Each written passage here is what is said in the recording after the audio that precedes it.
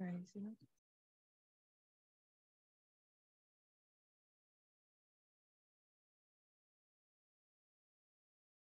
Hey, hi everybody. Just gonna give everyone a couple of minutes to get tuned in here.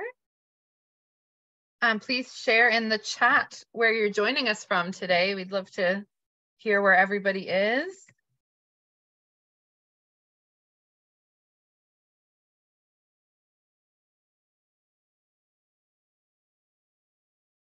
Seeing a lot of Irish surnames, love that. Venice, Florida, welcome. Clovis, California. Niagara, Canada, hello Canada. Long Island, New York. Dublin. Boise, Idaho, San Francisco, wow. Madison, Wisconsin. I've Got somebody from Cork. Indianapolis, hello. Seattle, wow, Madrid, Spain, covering a lot of bases here. New York City, hello.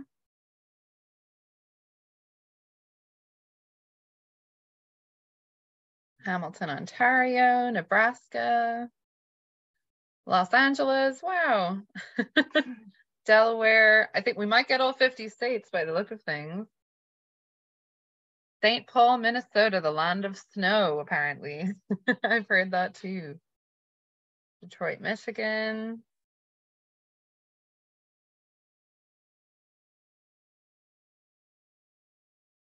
All right, it's great to have so many people. Wonderful. Just give another minute here for everyone to join us.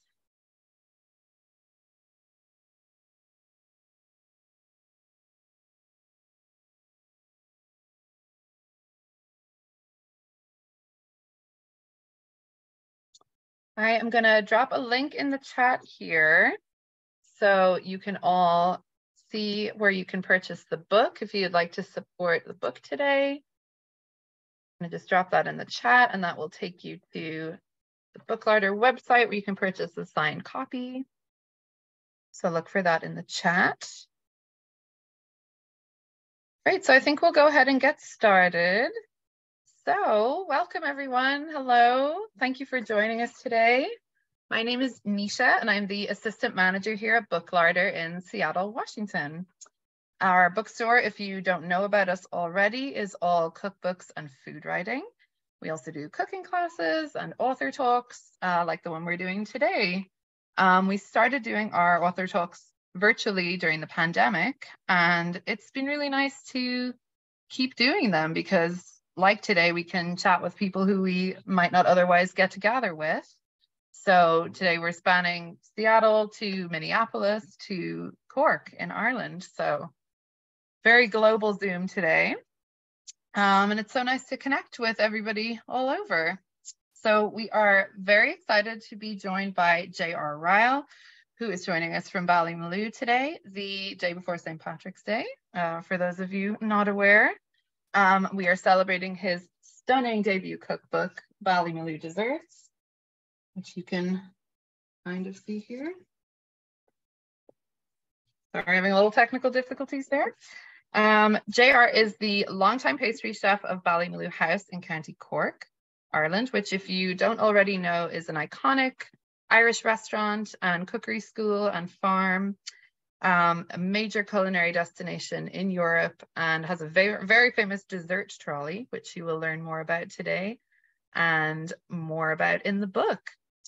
Um, so those of you who have already purchased the book know that it is as stunning as the desserts themselves, beautiful photography, um, beautiful colors, celebration of all things Irish and sweet. Um, so I've put the link in the chat today and you'll be able to follow that to purchase the book. Um, JR is going to be joined a conversation by Zoe Francois, baker and best-selling author behind Zoe Bakes. And I'm sure many of you are familiar with her beautiful creations and her many books, including Zoe Bakes Cakes. Um, we're going to make some time at the end of their chat for questions. So if you have questions, please drop them in the Q&A box, which is on your Zoom toolbar. Um, we will also have closed captions enabled if that's helpful to you, and you can toggle those using the live transcript button on your screen. And lastly, uh, the talk will be recorded and posted to our YouTube channel in the next day or two. So if you have to skip out before the end, you can watch it back on our YouTube or you can share it with anyone or share it with the many people who you'll be trying to convince to visit Ballymaloe with you after this talk. All right, so without further ado, I'm going to turn things over to JR and Zoe. So I'm going to have them join us now. Hi. Hello. Hi, JR. How are you? Hi, Zoe. I'm great. Uh, greetings from Ballymaloe. Thank you so much. Um, it's so incredible to finally meet you because I've actually been to Ballymaloe twice and never got to meet you. So it's hilarious that this is our first encounter. I know. I think the last time we literally crossed in the air, I remember I yeah. knew you were here and I was getting on my flight in London thinking, I bet you're getting on your flight. so it's very nice to be meeting you here. Yeah. So thank you to everyone at Booklarder for organizing this. I know it, it's such um, an honor um, to uh, to get to talk to you about this absolutely stunning, gorgeous book. Um, I read it from cover to cover and um, like I said, I had been to Ballymaloe and um, I posted a picture yesterday on Instagram of your trolley. Um, and I, you know, when I was reading it, I read David Tanis's um, description of the place, uh, not only the restaurant, but where you're from. So he described it as a magical village by the sea. And unless you've been there, um, you don't quite understand just how magical it is. So I was, I think it's so much a part of the book and part of your desserts, that place. So I was wondering if you could just describe it to people. Yeah, I think David does sum it up actually. And uh, like you say, unless you're here, it's um, even when you read about it, I think it's quite hard to imagine. Um, everything here is on quite a small scale. So at the moment, uh, just to tell you where I am, I'm in a little wooden cabin between a centuries old wall garden and a two acre orchard. And we're adjacent to Ballymaloe House. So Ballymaloe House is uh, the biggest house in this area. Uh, the land around it is called the Ballymaloe Farm, and that name translates from Ireland or from the Irish language as land of the sweet honey. So that will tell you a lot about the history of the area. Now, the sea is only three kilometers or two miles from here, and there's a small villing, uh, fishing village nearby where day boats come in and lots of local people work around that. Uh, but the land here is very fertile. So uh, the Allens bought Ballymaloe in 1948 and they were horticulturalists. So they were always growing here apples and they had um, lots of orchards, they glass houses for growing cucumbers and tomatoes, things they were exporting. So all of that was happening in this area before the restaurant opened. Now, if you go just beyond the village, uh, you can do a walk that we call the cliff walk, where the land hits the sea and there's a big limestone outcrop. And along there, there's lovely spongy grass where we go and picnic. Um, and then there's Ballycotton Bay, which has an island in the middle of it, uh, just about a half mile out to sea with a lighthouse. So there's lots of little landmarks around, and they're all within an arm's reach. So that's sort of that's that's the lo- the locale. Yeah, it's um. So I I just want to tell you a tiny little story about how I came to know Ballymaloe because before I ever visited, I actually worked um, in an Irish restaurant here in Minneapolis. And um, this was my ah. Bible. uh, so this is Myrtle Allen's book. And um, so I became very familiar with her work um, and her recipes. And then um, and then had an opportunity to travel to Ireland with Kerrygold, which is one of the uh, things that I wanted to talk to you about because, uh, well, one, let's start with Myrtle. Uh, yes. Because in your book, you say that she taught you how to taste, which is very different than saying she taught you how to cook or how to do pastry. So tell us a little bit about who she is and what she meant to you. Yeah, so uh, Myrtle Allen, for anyone who doesn't uh, know the name, was the founder of Ballymaloe as a food business. So her and her husband Ivan uh, bought the farm here in 1948. They were farming, and uh, 20 odd years later, she thought it was she had enough cooking experience to open a small restaurant. And her husband wanted to support her, but he said, you know, Myrtle, if you're to do it, let's do it here in the house. Now, just to paint a picture for anyone who wasn't in Ireland in the 1960s, um, I wasn't, but I, I've got the stories from Mrs. Allen firsthand that it was a different landscape. There weren't very many restaurants to begin with. Uh, the idea for going out for dinner was quite a foreign concept here. Mm. And then the idea that a 40 year old farmer's wife with six children would open a restaurant in the front room of her rural home, you know, this is really eccentric stuff. And then the idea that she would write a menu each day with what's available. We know we now call it farm to table, and uh, you know, part of that whole movement. But you know, Chez Panisse hadn't opened for another seven years at this point when you think about it. So she was really radical and out on her own in doing this. And she was a free thinker and always pursued things that she believed in. And when I first met Myrtle in the early noughties, so over 20 years ago, I'll never forget the feeling. She actually dazzled me. And I don't think there's that many times in your life where someone really dazzles you and I've never forgotten the feeling. And I think I'm always going to feel that way about her. And then as I got to know her more and more, um, like you mentioned, it's not that she actually, she did teach me how to cook, of course. You know, she taught me how to use a whisk or how to roll the dough and, you know, all of these techniques. But every time we'd make something, we'd stop and she'd say, okay, we'll cut a slice, we'll take a spoon and we taste it together. And then she'd say to me, what do you think?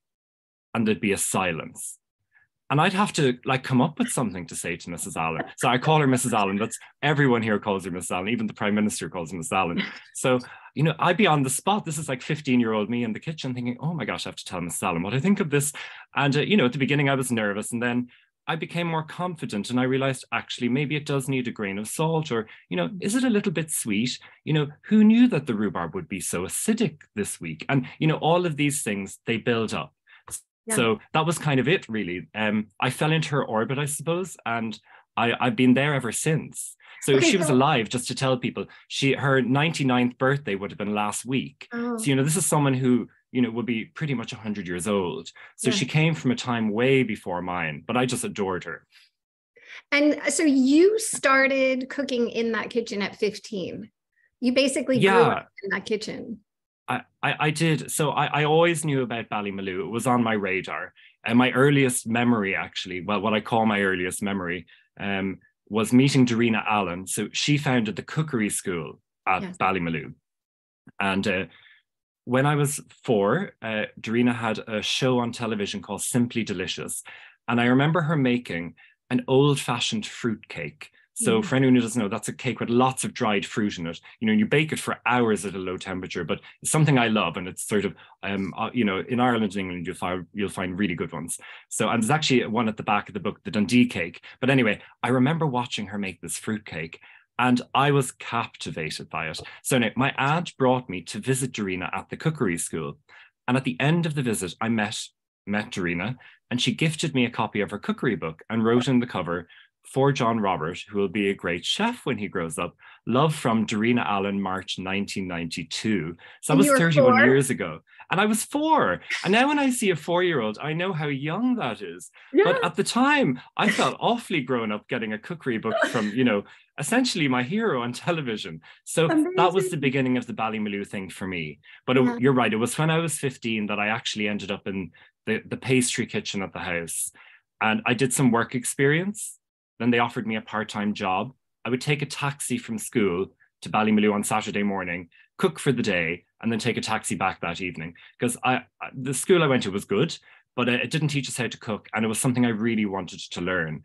Yeah. And that's when I met Mrs. Allen, and it's sort of, you know, I I could see a uh, there was a lot more to life than I was learning in school.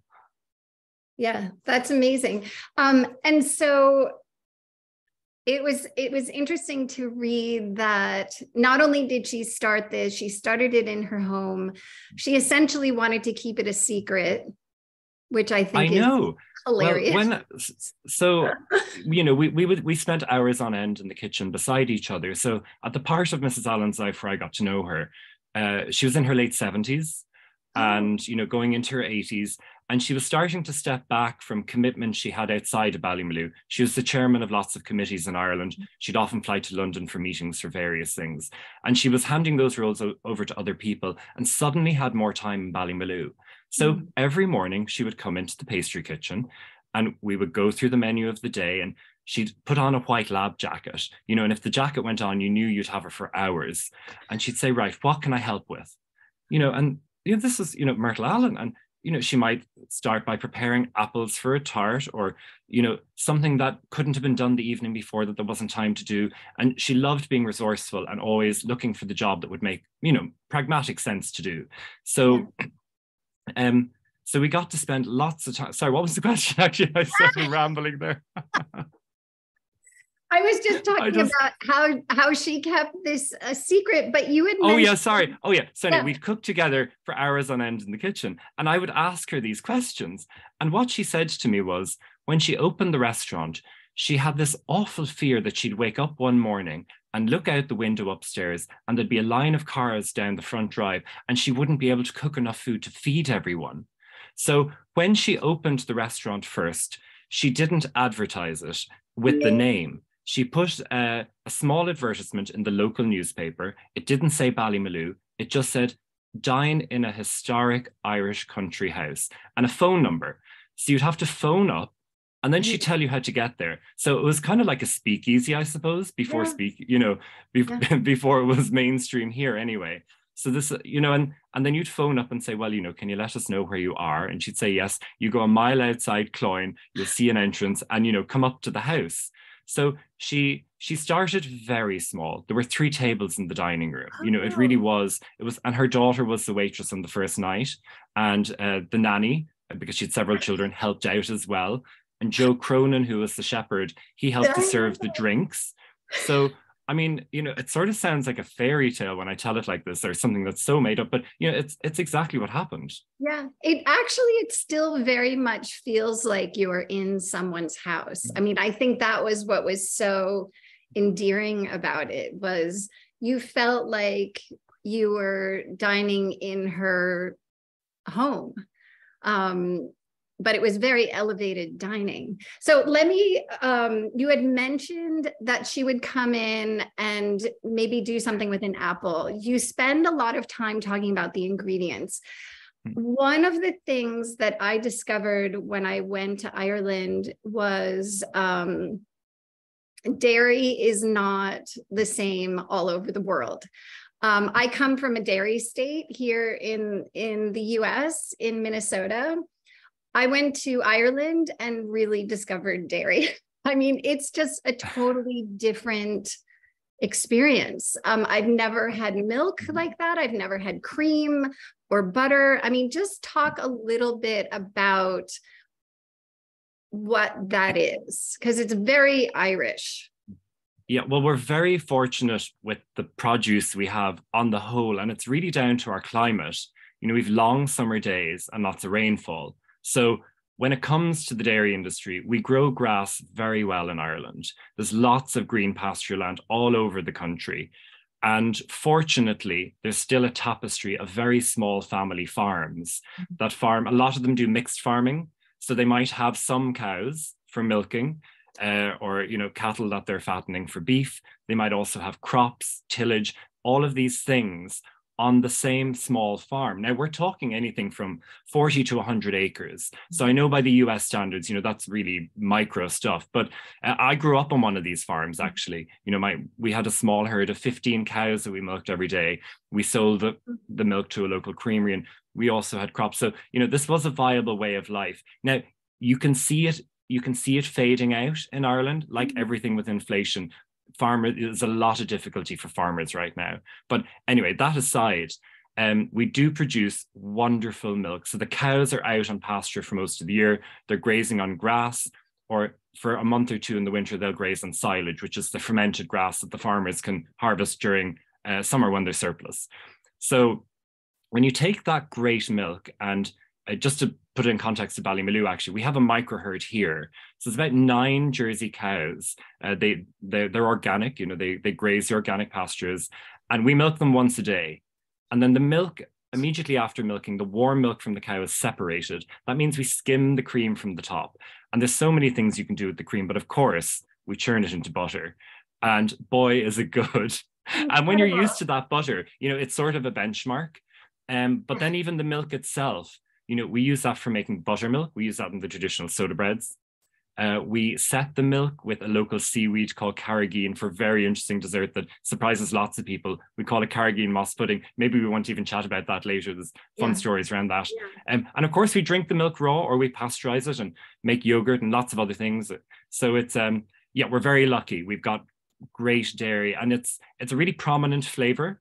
It's quite interesting. A lot of uh, people might be used to tasting things on the continent, you know, in France or Italy, and they, their dairy is very different to ours. Their climate is different, mm, and they don't salt the butter. So if you have a, a, pastry or a shortbread or something in France, it tastes quite different to when you have it in Ireland because our, our butter is different, but we also mostly salt the butter. Mm. Uh, essentially, it's cured. And that flavor really translates, you yeah. know, whether it's a Victoria sponge cake or an apple crumble. Like it, it's it's a foundation that everything stands on. So it's really important. Yeah, uh, to the flavor of our food. So yeah, Ballymaloe is um we you know some people joke uh, you know Bally butter and all of this, but um we yeah we we really cherish the dairy. Yeah. And um, also the fruit. Um, you you had mentioned that you grew up on a farm and you just tell this um, lovely story about the mulberries and an eccentric aunt. Oh um, yeah, my grandaunt. Well, she she yeah. was she was wonderful. She was born in 1919, so she would actually be 104 if she was alive now. Um, yeah. and uh, you know, again, I got, I, I suppose I, I should admit, I have this thing for older women. I gravitate to them, you know, and I just, I love older female mentors. And That's it sounds great. odd, but it's, it's a motif in my life. Me and actually, too. another person you might know who became almost Diana Kennedy in yeah. Mexico. And yes. I used to pilgrimage to her every year with a fruitcake. But anyway, sorry, I digress. But um, so yes, my eccentric grandaunt, uh, usually in the late summer, uh, one of her hobbies or pastimes was to bring Nicole and I, Nicole is my sister, uh, out to, we called it the donkey field. It was a small field beside the house where we had a donkey uh, as a pet. And there was a mulberry tree in the middle of the field, a 200 year old mulberry tree, or it could have been older. It was ancient and the, the branches hung very low to the ground and they were brittle and broke easily. So we would spread cotton sheets under the tree and she'd give us each a broom and we'd a broom handle and we'd have to hit the branches and the berries would fall like rain onto the sheets and we'd drag out the sheets and bring it back to the kitchen. And she used to fill the berries into pillowcases and we crush them with our hands. And you know literally i'd be as purple as mulberry myself because anyone who's handled mulberries you know the juice is wonderful and sticky but so rich and deep. Yeah. so anyway we pour the juice into a demijohns these glass vessels and she'd ferment it into wine. But um though the sentiment is wonderful. The wine was terrible. Is it terrible? So, oh no. So we'd have we'd have house plants everywhere around the house. So she offered someone a glass, they'd have somewhere to, you know, to, to ditch it into if, if they needed to.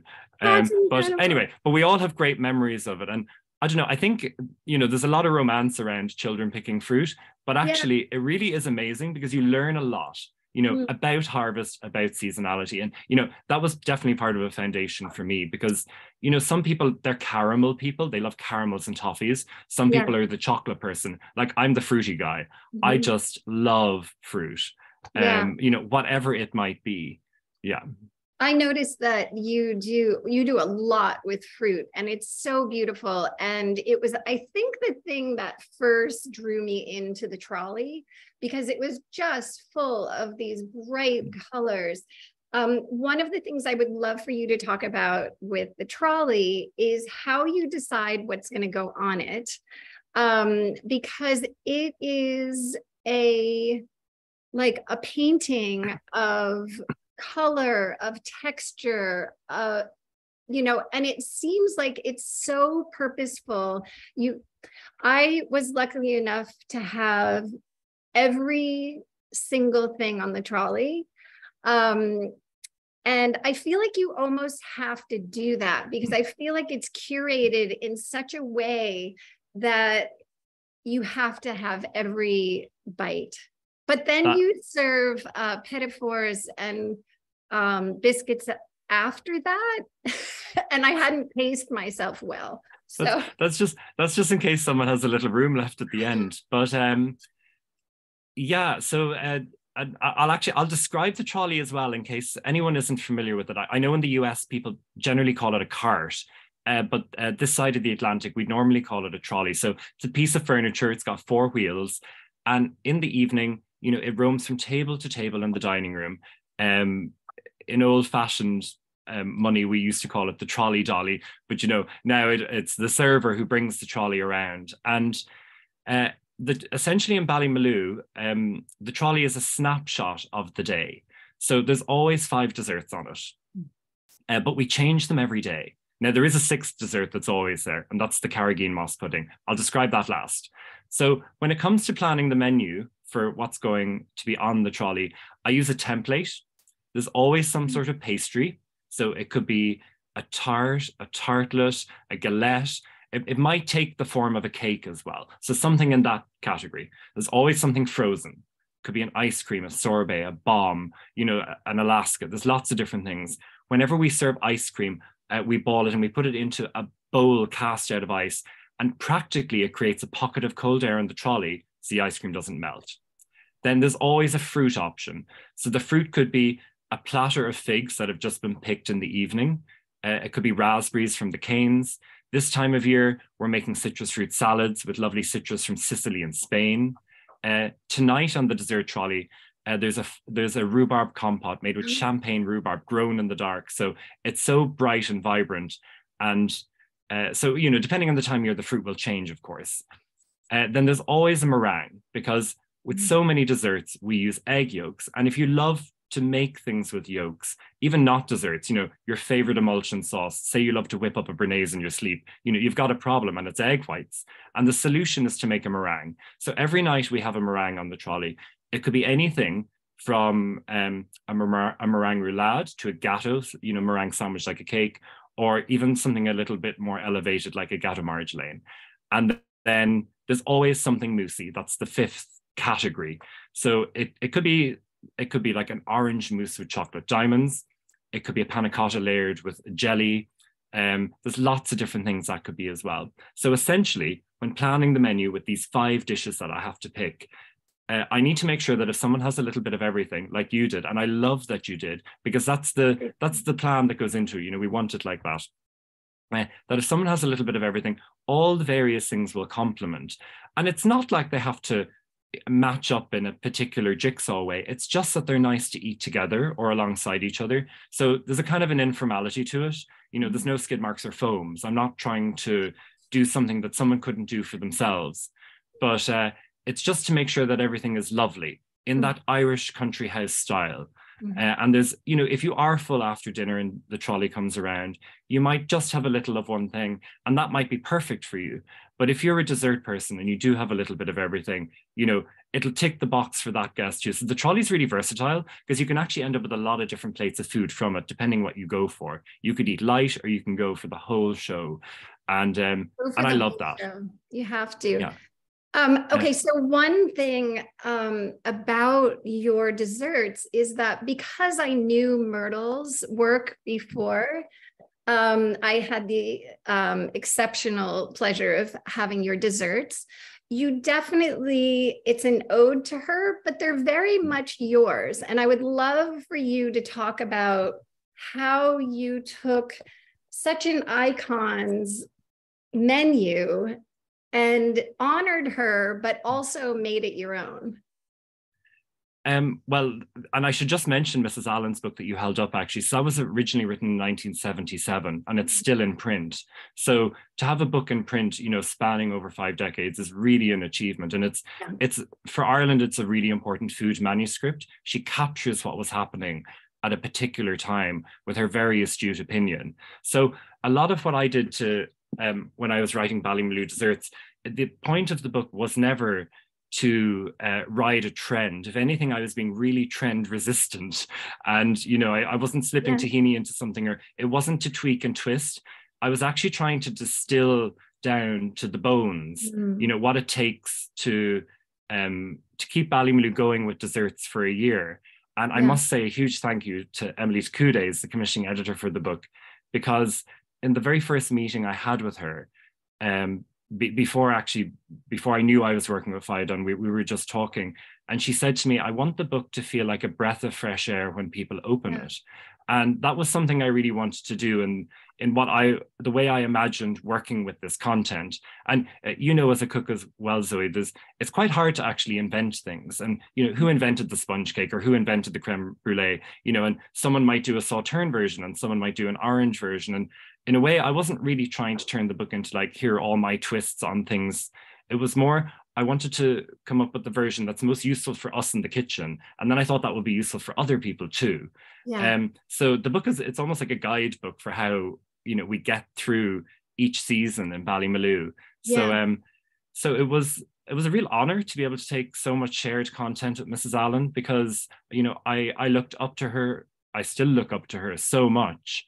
And uh, to be able to uh, use some of those recipes and then add other ones to them or, or even to in very simple ways elevate dishes you know bring them into a time yes. but almost by refining them by leaving things out rather than putting things in um, and one thing i was always uh, mrs allen was wonderful in flavor but when we did cook together um, I was often better at making things prettier. uh-huh. so, yeah. and uh, I don't mean it in any big-headed way, but you know, I, I was it was always I was I was good on aesthetic. So yeah. I loved being able to take dishes that have been around the block for you know decades and be able to give them a, con- a contemporary look without actually changing any of the components. So that was also another element of it, really to bring things that I think are wonderful to an audience who might otherwise overlook them because they seem dated. Yes. So yeah. So uh, one of the things that I want to talk about is that you can see all the things that ah, I love that. um, That's amazing. Is that some of these recipes are very Irish um, and so beloved in Ireland, but not that well known here in the States um, and perhaps mm. other places in the world. Some things like um, the posset out of your book, which I actually made. Um, oh, I love that. Oh, yeah, great. Is um, one of the simplest, most delicious recipes anybody can imagine making. I'd love for you while I eat this. Hmm. I'd love for you to tell people what it is um, and yeah, sort of describe it. While yeah, I so and in a way that the lemon posset it, it sums up the Ballymaloe style, you know, where that's a three ingredient dish. It's cream, sugar, and lemon juice. Yes. So uh, to be able to create a dessert probably in you know five minutes you know anyone who's into making coffee with their chemex or whatever you know they're going to spend that much time making a cup of coffee. But in the same amount of time you can have a dessert ready you know in the fridge for supper that evening. So with the posset uh, you boil sugar and cream and then stir in lemon juice and then you chill it and it sets. And the the richer the cream the thicker the set. That's generally the rule Yes. So if I use the Jersey cream from the farm here, you know, it's literally liquid gold when you're pouring it. You know, it, it falls in slow motion. It's so thick. But when you make the posset with that, you know, it's got this, you can cut it with a knife. But then if you use a thinner cream, you'll have a, slightly, you know, a softer, silkier texture. So even mm. with these things, you know, they'll change from my kitchen to yours. But the mm-hmm. concept mm. of these really simple dishes, I mean, I love that uh, something that I'd want to do at home is something I can also do in the restaurant you yeah. know, and it's just sort of the way we want to eat all the time. Yeah, I mean, but, uh, I wanted to make something um, from the book, and um, I had all of those ingredients. Literally five minutes mm-hmm. later, it was done. So I yeah. love that you have um, some cakes that maybe are you know layered up and a little bit more of a project and then there's super simple things okay you mentioned the carrageen pudding yeah um, uh, it was uh, when I got off of the bus at Ballymaloe. Um, it was the very first thing that I ate, and I will never be the same. oh, I'm so glad you liked it. Um, Amazing. Yeah, for, for me, actually, if if I had to uh, some someone once asked me, you know, if the book was on fire, what page would I rip out? And well, actually, after David Tanis's forward, because I must say, when I got my hands on the very first copy of the book, I, I opened that page and read it. I actually cried a little. I had no yeah. idea the emotion one would feel around, you know, actually holding it in my hands. Uh, but anyway, uh, so maybe the forward because that was just so dear to my heart. But uh, it would be the carrageen moss pudding recipe. So now I'll, I'll just I'll describe it for a moment because unless you're from Ireland, or even people in Ireland may not have grown up with it as a household dish at home, but they, they'll probably have heard of it. So uh, the word carrageen translate, translates in the Irish language uh, to little rock. So carrageen moss translates as little rock moss. Now, I think that's terribly romantic and lovely. so this is a seaweed. It's about the size of a closed fist. And it grows natively on all the little rocks around the coast of Ireland. And the tradition is um, that usually, or Mrs. Allen's preference was always, during the first two weeks of July, when there was a spring tide, that's when the tide goes lower than any other time because you know the moon has an effect on tides. And when it drops lower, we would wade out into the water and pick the small clusters of carrageen moss from the rocks. And then we'd lay it out on the cliff top or on some bouncy grass and the sun would dry it and the rain would wash it. And it's this time honored process for naturally preserving the seaweed, the carrageen moss. So then once it's dried and bleached, uh, when I say bleached, uh, I should say that when you pick the seaweed, it's sort of an iridescent brown color. Mm-hmm. After it's bleached, it's white. And this just happens by leaving it outdoors. It's really a beautiful process to observe over a couple of days. So then we bring in the dried seaweed and we have enough for the year and it keeps indefinitely. I've found bags of it tucked away in presses and suitcases, you know, years later, and it, it's absolutely perfect. So if you do pick your own, you know, you, you'll um, you'll use every bit of it, and then we simmer the seaweed in milk, and it gives it a very soft set. And like these old-fashioned puddings, there's very little sugar in it. So in one batch of the pudding, there's two tablespoons of sugar, and this is enough for you know eight or ten people. So like this is like really low sugar territory, and yeah. it's not for health reasons actually. It's because that gets the right flavor, uh, which is a really good point to make about sugar. Actually, you know, not it's to get the flavor right, and not it's not about calorie balance, but actually this is sort of like a low fat, low sugar dessert, and on its own, it's quite. It's got um, a lovely, soft, silky set texture and a gentle scent of the sea in the flavor. And we had a tiny bit of vanilla as well, which complements it. And to serve it then, um, we would pair it usually with a fruit compote. So in autumn or fall, we might have poached plums. At this time of year, it's just exceptional with the rhubarb. Um, when we come to June and July, we'll have green gooseberries with wild elderflowers poached to a compote. That's also in the book. Um, that goes wonderfully with carrageen. So all of these simple fruit dishes can accompany these set creams so well, or even anything that you would serve with a creme caramel or a creme brulee, that's going to go well with the carrageen. So you can think of it like that. Yeah. But um, desserts like that, interestingly, because they go back so far in tradition, and people have been making versions of this for hundreds of years in Ireland, um, you know, they were eaten for sustenance as well as pleasure. You know, they weren't made just as a confection. You know, the idea that you could eat a little seaweed, it's high in iodine and minerals, you know, it's it's actually a really good thing to have in your diet. So as well as being a joyful dessert, uh, it's fortifying. So that meant a lot to Mrs. Allen because mm. she always saw food as the medicine.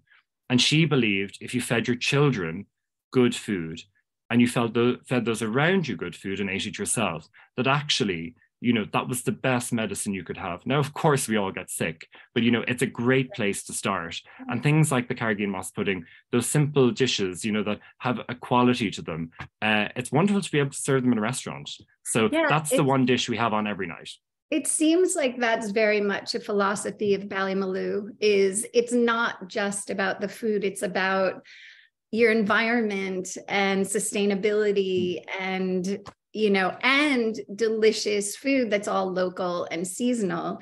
And I love too that you are clearly a master at your craft and that you. you share all of your little secrets. You have these like quiet little moments in the corners here, these tiny little type. Everybody has to get this book and you have to read all those tiny little notes because that's the gold for me because you have shared like I ate off of that trolley and I was like how did he do that and I've been well, baking a very long time and it's like you you talk about in one um, area of the book um, notes on um, light airy texture Oh yeah, I know. Yeah, Add, adding lightness. Yeah, adding lightness to a dessert, and I was just like, I was so moved. but there's i mean there's so much of that. It's not just that the recipes are gorgeous and the book is stunning. I, you did such a beautiful job but you also share so much of yourself. And honestly that's not always the case with a restaurant based book. And home cooks aren't always able to get in there and recreate what they've had. But in this one you've really shared everything and it's really generous of you Oh, thank you. Well, well, that was always my aim, and um, I must make a shout out to the photographer as well, Cliona Prendergast. Uh, it yeah. was her first book as well, and Cliona uh, lives in Connemara in the west of Ireland, and uh, so beautiful. When when it when it came to uh, choosing the photographer, and I was talking to Emily and the team of Phaidon, and uh, the, you know they they want to know who who who could I dream of, and actually Cliona was the only Irish photographer I could have dreamt of working with. And she's the only name I put forward. And I was delighted when they approved her. But so I would, I cooked each dish and styled it and Cliona shot it. And we did it over seven different small photo shoots in the old house in Ballymaloe. Yeah. Mm. And it was so lovely to gradually see everything come together. But I knew by doing it that way and doing it myself with a friend that if someone follows the recipe, you know, the the photograph's a true illustration of it. It wasn't done in a studio or a set mm. somewhere you know right. this is if, if you get if you get the best butter and you you know you have just picked cherries that's what the desserts will really look like yeah. um or could look like you know and I in a way I wanted the images to look like what a 12 year old me would have loved to have gotten my hands on. Because I loved studying a photo. Like when I look at the photos in your book Zoe they're so inspirational.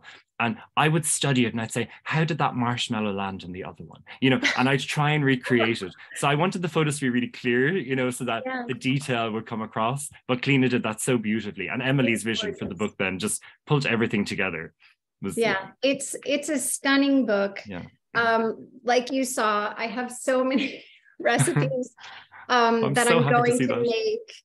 Um, and just congratulations. It's just, it is um, in a book form, your desserts at the restaurant. You really pulled it off. And um, I hope that everybody has an opportunity to go and have you bake for them, but they have this yes well i'd love to see everyone and and send me a message if you're coming you know and let me know the day and if i'm free i'll bring you around the garden. I always love to meet anyone who's got an extra interest in desserts. Um yeah. I, I think you're going to have a lot of takers on that one jr i hope so. yeah i hope so. Oh what a wonderful conversation. Well we have a couple of questions that i would love to put to you both. So the first question, and I, you know, the answer to this one may have been covered already, but um, Morgan is wondering what is the most nostalgic recipe for you from your book, and you know that may be the the carrageen moss pudding that you have described so beautifully. But is there anything particular that you know Mrs. Allen shared with you, or Oh, do you know there were a lot of recipes we had to leave out of the book as well. So uh, most of the ones that ended up in there have some element of nostalgia, but definitely the carrageen moss pudding because it was it was a I had never really understood desserts like that growing up. My mother cooked uh, lovely simple desserts for us. She'd make lemon meringue pies or fresh butter sponges, and they were wonderful, and I was very familiar with them. Um, so I have great nostalgia and that level and she'd make beautiful rice puddings and you know i'm very nostalgic about those things too of course but when i came to ballymaloe and uh, saw things like the carrageen moss pudding that were really connected to the area you know, and the the climate and what was going on. Um, I suppose in a way, the memory of those is so great that I think, yeah, that that has to steal the place for one of my most nostalgic ones. Yeah, definitely. Um, and aside from the carrageenan moss, is there is there one dessert in the book that you would love for people to try, especially if they might not be familiar with it? Oh, well, I think if someone wants to spend an afternoon in the kitchen, um, I would probably direct them to. I'm just going to find the picture of this now. Um, it's panna cotta layered with coffee jelly, and it's something I invented for a dinner in the glass house one day. Uh, we were doing this dinner for 100 people. And uh, so essentially, you make panna cotta and you make coffee jelly and you set them layer by layer in a glass dish. And now, actually, my friends at Jerpoint uh, Glass Blowing Studio make these beautiful bowls as well. So it's really nice to be able to use a friend's bowl and make a, a fun, striking dessert. But if you do have a lovely bowl at home, it's a really one fun to tr- a really fun one to try because you'll surprise yourself in what you can achieve. You know, your guests will look at it and they'll just be mesmerized. And it's also a really good one to eat. It's like an after dinner coffee. So I think that'd be a fun one. If someone really wants to try and push the boat out, yeah, give that a give that a whirl. Yeah, that one looks amazing. Um, we have someone who is actually going to be visiting Ballymaloe in June. So they're wondering Yay. what kind of things they might expect to see on the trolley around that time. Uh, well, June is a lovely shift in season. It's really when the summer kick starts. We'll be picking the first green gooseberries. The hedgerows are going to be frothy with elderflowers. So that'll be going into everything. We'll still be in uh, high rhubarb season, which some people say you still have rhubarb in June and July. We have a very old variety here and we pick it almost up until August. So we have plenty of rhubarb. Uh, all of the lovely herbs will start coming back in the garden then. The sweet geranium, the lemon verbena, which is usually the latest herb to produce leaves, uh, the sweet cicely. So all of those flavors will work their way into the desserts.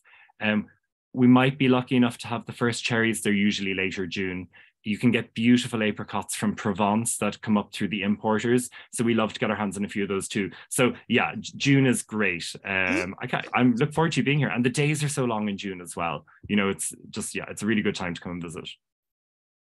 Oh yeah, look at that beautiful photo Zoe's showing us there. Gorgeous.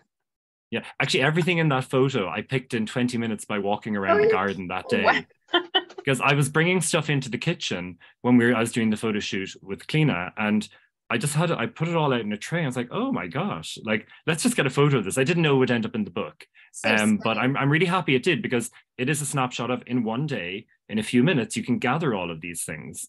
You know, we have 10 different pear varieties growing on every wall of the place. You know, it, we're so lucky to be able to focus on the shapes and flavors of the way different varieties are, you know, and it's I suppose that's what makes Ballymaloe different. Our food is plain, but we're so connected to the surroundings that that really reflects on the plate then you know, and it's, you know, and someone might say, oh, I think it tasted different last week, you know, and they think it's the same dish. And you say, well, actually, you know, it's because it was a different pair.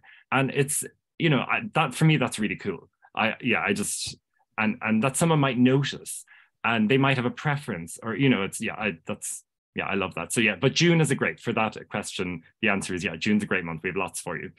Wonderful. And someone is also wondering uh, in the US, is it possible to source ingredients for the, the carrageenan moss pudding and things like um, gooseberries i think you, you can get you know depending on where you are in the us things like mm. that but specifically the carrageenan moss pudding is it possible to to recreate that here uh, it is. So actually, um, over a year ago, I was in LA uh, visiting David, who David Tanis who wrote the forward for the book, and um, he asked me would I pop into the kitchen at Lulu in the Hammer Museum where he is cooking and he he runs the kitchen there and if I'd make a dessert, because Alice Waters was coming for a couple of days. And I thought, I want to make carrageen moss pudding.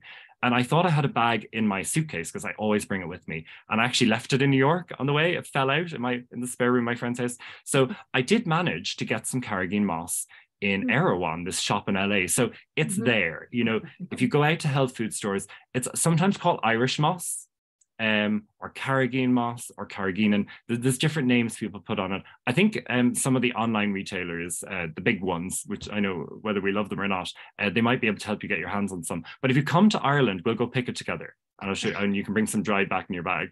How about that? There's going to be a big crowd of people yeah. following you. yeah. But I should say, with all the recipes, you know, I use real ingredients that are accessible anywhere. Yeah, there's very little in the book, I think, that someone might. The carrageen is probably the one thing. Apart from that, I think everything is within reach of most people. You know, bar one or two fruits that you mightn't have in your state. I don't know if every state does grow gooseberries, but you know, chances are uh, you could find them. Yeah. The one that's actually hard to find is rhubarb because it oh. doesn't grow um, in the southern states. Oh, well, and there are a couple of rhubarb recipes in the book, but a lot of the recipes I should mention, I call them blueprints. It's mm-hmm. like there's always something you can swap it in or out with. So, like the rhubarb custard tart could be an apple custard tart or an apricot custard tart or a cherry. And in the head notes of the recipes, I often mention these variations that I love, you know, or the, the gooseberry tartlets, these small little bite size, almost like a canapé gooseberry tartlet.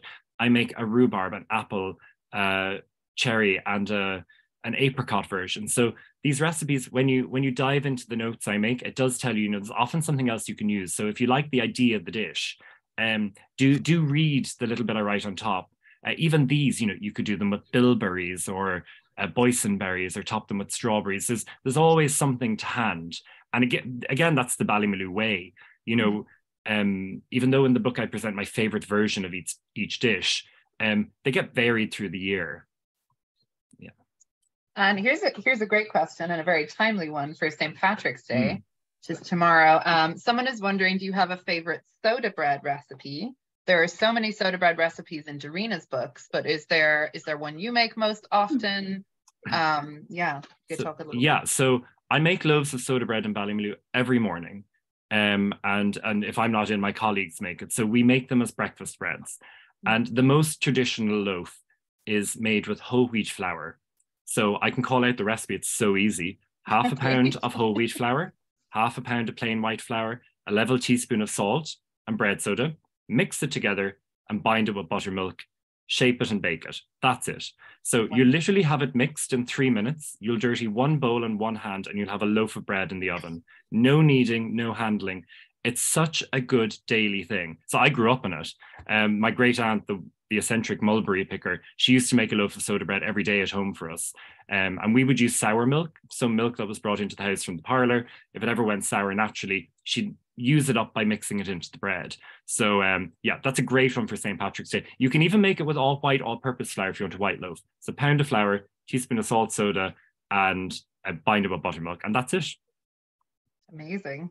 And I think we have time for for about one last question. And selfishly, it will be mine, which is mm-hmm. I am wondering what is going to be on the dessert trolley tomorrow for St. Patrick's Day. Uh, yeah. So, given that it's St. Patrick's Day, we go quite traditional and do play on the theme. So, it's going to be brown bread ice, ice cream, which actually mightn't sound so traditional to many people. I guess it's not, but in a way, it's a way of using up surplus brown bread that we have. We toast the bread with sugar and vanilla, so it caramelizes almost like a praline and then break it up and fold it into vanilla ice cream. Oh my God, so good. Uh, we're going to make the Irish apple cake. So that's a traditional um, cake baked on a plate. So it's quite flat. It's actually, it's very near the back of the book. And uh, so that's a lovely kind of soft, almost like a scone mixture with lots of lovely apple broken down inside in it. And for that, I'd use a Bramley apple, an apple variety we love here that breaks down to a foamy mass and it's lovely and acidic. So there'll definitely be the Irish apple cake. And you'll find different versions of that cake all across the country, but uh, that's one that I particularly like. Uh, we'll have a rhubarb compote. So I'm going to pick some of the first stems of rhubarb from the walled garden. It, it's the first crop of the year. So that's exciting and it's going to be really flavorful. That'll pair with the carrageen moss pudding. So again, sticking very Irish with all of this. And um, then I'm actually going to make some little chocolate mousses that almost look like Guinnesses. Sounds a little tacky, but it's fun. Um, where I'll set a little layer of white chocolate mousse on top of dark chocolate mousse. And then today, Beth, who works with me in the pastry kitchen, she was playing around with making pistachio shortbreads, which are going to be like green and white, kind of like little checkerboards that we can serve with them. So, you know, that's really just to have a bit of fun with the theme as well, because there's no point in being all serious. It's a celebration and uh, you know the whole country is going to go wild tomorrow. Uh, so it's fun to to have a little nod to it on the trolley. That's very fun. It sounds very colorful and very beautiful. Yeah. Well thank you oh and the irish so coffee meringue of course. Yeah. so it's oh, also yes. in the book. Yeah that i mean was, irish coffee. Yeah. That was Sorry, the first thing that. i made from the book yeah. oh and it looked one. so good zoe. It was so it's beautiful so delicious. I love it. And uh, yeah, so that's like coffee meringue sandwich with a boozy whiskey cream. So a fun play on the Irish coffee, not one for the kids maybe. Um, but yeah, so so that's tomorrow night's trolley. Yeah, so if anyone wants to come and join us, you'll be able to try a bit of everything. I think we're If all I may just say a stampeding huge to thank the you. airport right now. It's it's been so nice being on talking to you today. Yeah, and you Uh, know, I'm it's, just- it's Such a fun that we ended on the Irish coffee meringue gâteau because I feel like that's a great expression of Mm. both of your styles and both of your expertise in, in meringue and all that wonderful artistry that you both do. Um, well, thank you so much, everybody, for joining us. Thank you, JR, from zooming in all the way from Cork, Zoe, all the way from Minneapolis. We're so glad to have you all. And I put a link in the chat to where you can purchase um, JR's book from our website and also Zoe's book, Zoe Bakes. Um, we are lucky enough to have signed copies of both of those. And there you can see Zoe's book, two wonderful master That's classes. awesome. Yeah, little book party. Oh, Um, well, thank you so much, everybody. And once again, we did record this talk, so it will be on YouTube, hopefully by the end of the day tomorrow on the Book Larder channel, so you can watch it back and grab that soda bread recipe and share it with anyone. And yeah, thank you so much for joining us, everybody, and happy St. Patrick's Day. Happy Thank St. Patrick's you. Day, everyone. Bye bye. Best wishes. Bye.